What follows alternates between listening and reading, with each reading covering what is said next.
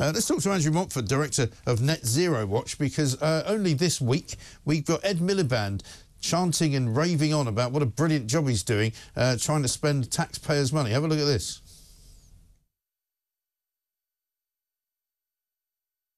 Schools back, Parliament's back, and I'm back announcing the record breaking results of our renewables auction 131 projects powering 11 million homes. This is what it means to deliver our clean energy mission, energy security for Britain. Schools back, Parliament's back, and I'm back. Did, and, no, sorry, sorry. Yeah, he's not known as First Take Ed for nothing, because uh, he's not First Take Ed. But Andrew, very good morning to you. Uh, what, morning, he doesn't, what, he doesn't, tell us, of course, in that little promotional clip from the Department of Energy, uh, is it's going to cost us a bleeding fortune. I think the Telegraph's got a piece this morning saying as much as £150 per household. And the idea that it's an auction is a bit of a kind of um, a smokescreen, isn't it? Because it's not really an auction. Uh, it's a place where we give loads of money to people to see if they'll pick up on a project.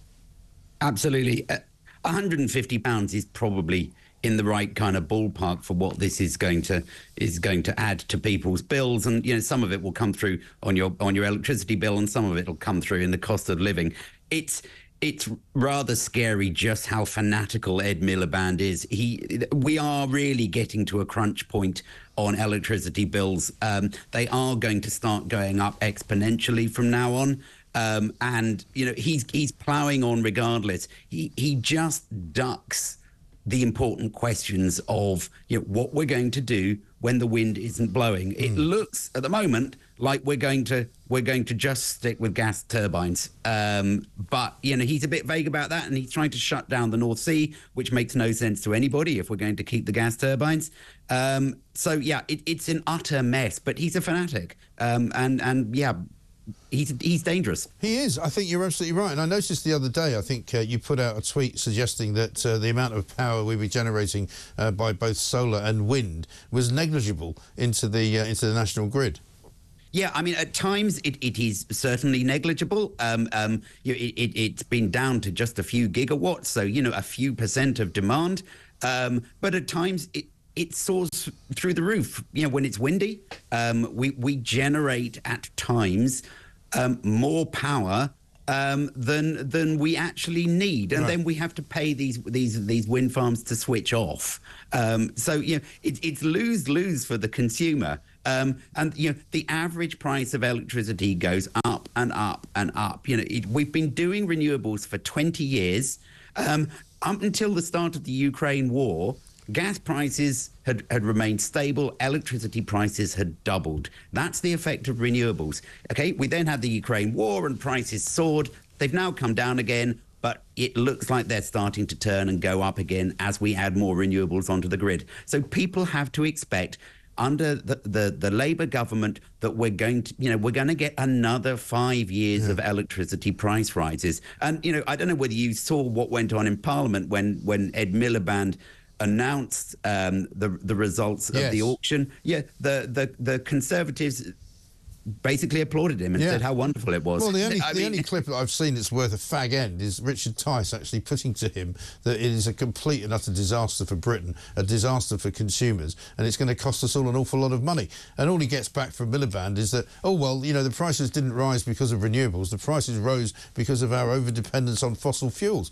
And you go, well, yeah, but if your fossil fuel dependence was actually homegrown and we had our own fossil fuels, it would be fine. Absolutely, yeah. I mean, I thought um, Ed Miliband's response to um, um, Richard Tice was was absolutely shameful.